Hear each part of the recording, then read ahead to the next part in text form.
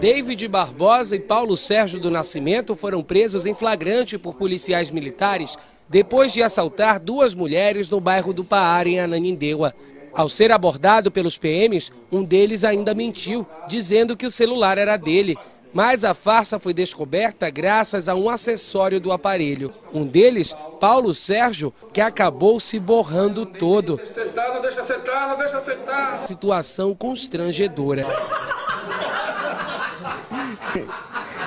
Resta saber agora quem vai limpar a sujeira. Pra mim não, né? Não, a gente vai, vai, vai chamar o pessoal da limpeza para resolver o problema. Ei.